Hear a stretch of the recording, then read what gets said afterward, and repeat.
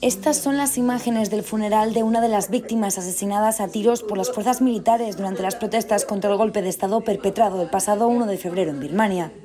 La brutalidad de los uniformados ha provocado severas críticas y sanciones por parte de la Unión Europea y países como Estados Unidos, Reino Unido y Canadá, aunque la comunidad internacional no ha conseguido consensuar acciones comunes como un embargo de armas. Según los datos de la Asociación para la Asistencia de Presos Políticos de Birmania, al menos 714 personas han muerto debido a la represión militar, mientras que más de 3.000 personas han sido detenidas, incluida la líder del gobierno de puesta y Nobel de la Paz, Aung San Suu Kyi. El gobierno birmano justifica el golpe de Estado por un supuesto fraude electoral en los comicios del pasado noviembre, en los que arrasó el partido de Suu Kyi, como ya hicieron en 2015, que cuenta con el aval de los observadores internacionales.